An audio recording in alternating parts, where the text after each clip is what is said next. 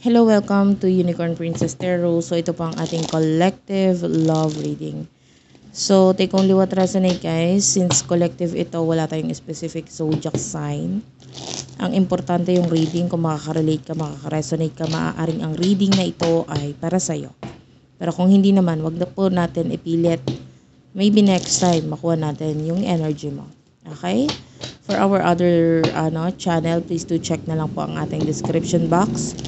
Sorry about the noise guys. Kung may mga ingay po sa akin paligid, hindi ko po yun mapipigilan. Ang importante po sana maintindihan nyo yung reading. Okay, so let's start your reading for our collective's love reading. Kunin natin yung main energy mo.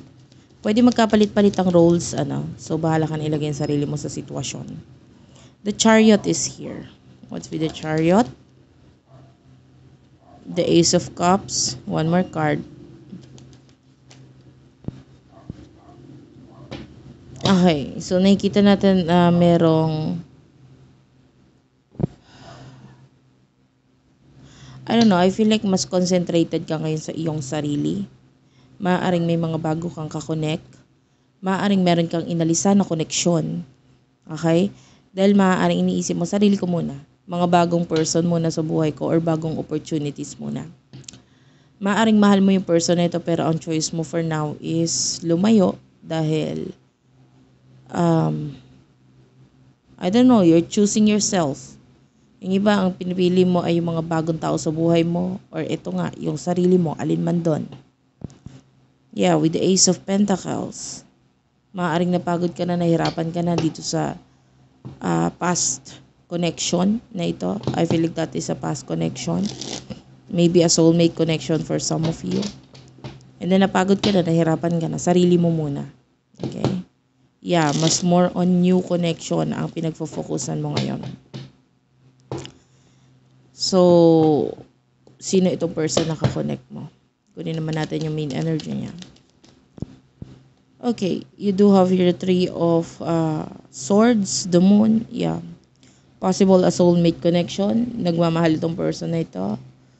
Pero nagfo-focus din siya sa kanyang mga gawain, ano? More on career. Ang pinagfo-focusan nitong person na ito. Maybe there's a third party or third person na involved sa connection ninyo. Gemini, Libra, Aquarius. Nakikita natin na lumalabas ka sa dreams nitong person na ito. And nagmamahal din siya sa'yo. Kaya lang, possible na may another person na involved sa connection ninyo. Okay? So, ano ang nasa isipan ninyo dalawa ng person mo?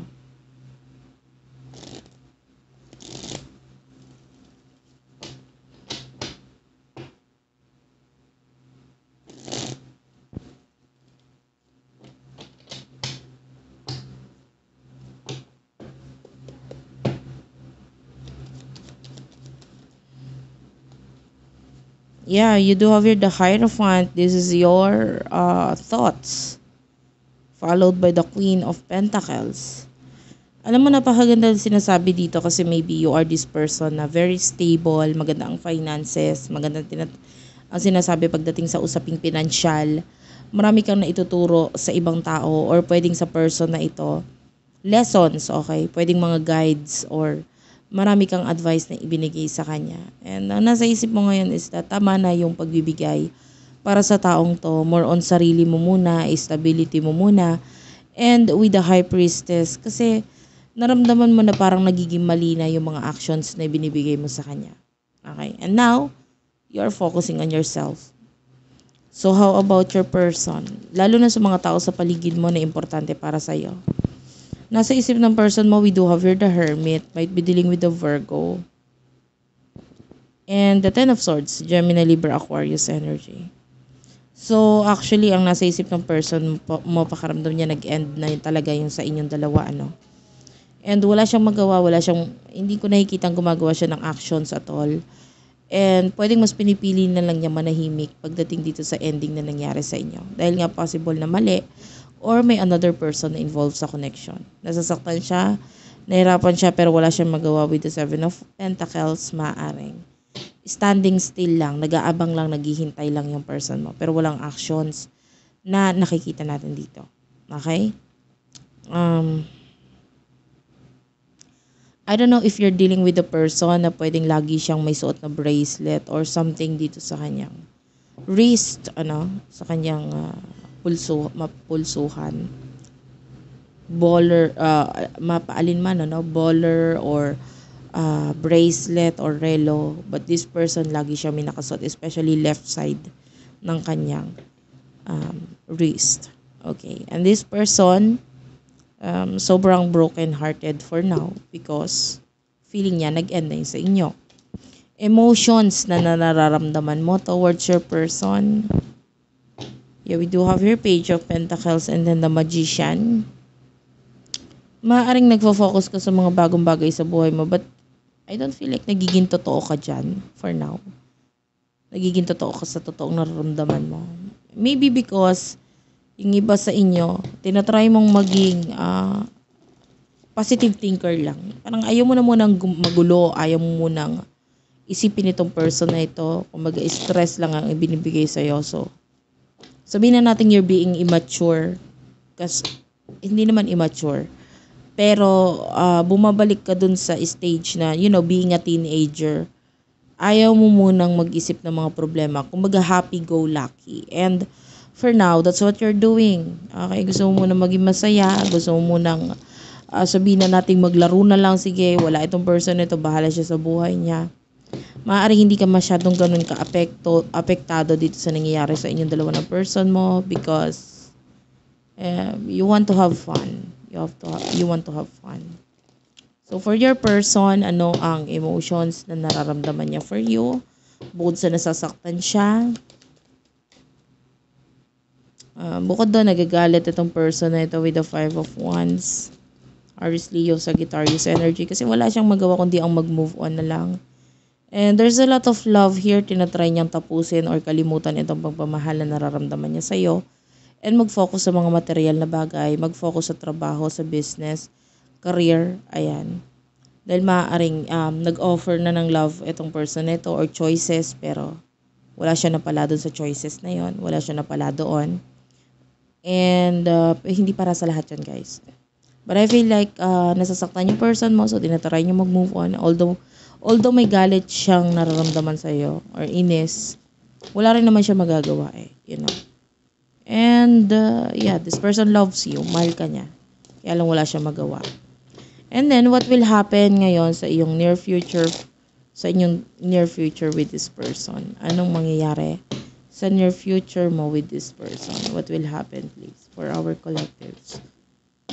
For our collectives. Our collectives, ano mangyayari in the near future? For our collectives.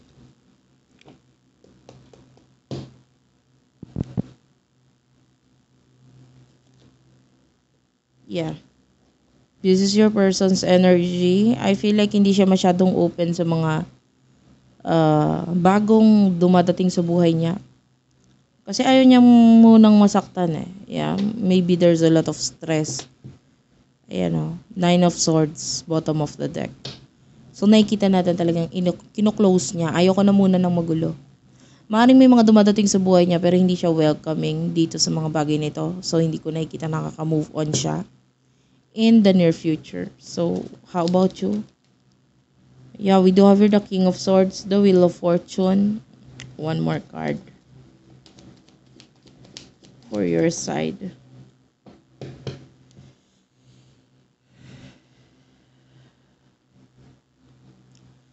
May mga may mga pagbabagong mangyayari sa iyo especially sa pagdating sa mga paghihirap na nararamdaman mo ngayon in the near future, meron kang mga responsibilidad na panghahawakan. Okay? Or dapat gampanan. Okay? So, yeah, you're being the king of swords, very professional. Medyo maraming mangyayari sa buhay mo na kailangan mong pagtuunan ng pansin in the near future. Medyo malayo na yung tingin mo eh. So, talaga nakikita natin yung pag-iwas mo sa person mo in the near future. Kung may pagbibigyan ka man ng effort or whatsoever, maybe it has something to do with your career, okay? More on career ang nakikita natin na pinagfo-focusan mo in the near future. You could be a breadwinner, ano, kasi nakikita natin talagang yung paghihirap mo sa ah, sa pagdating sa pagkita ng pera dahil maaaring may mga umaasa sa If this is your energy, this could be your reading. Ayan. So tell me more about your person. Anong meron sa kanya? We do have the Knight of Pentacles.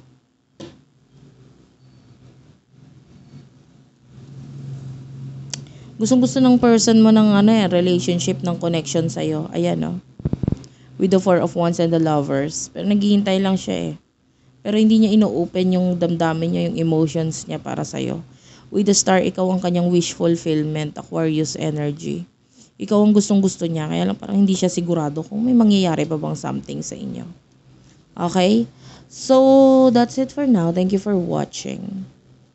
Sana nakaresonate kayo. Please do like and subscribe to our channel, Unicorn Princess Tarot, Madam P TV, Virgo Philippines, Tapit Hapon TV, Water Sign Philippines. I love you all guys again and bye-bye.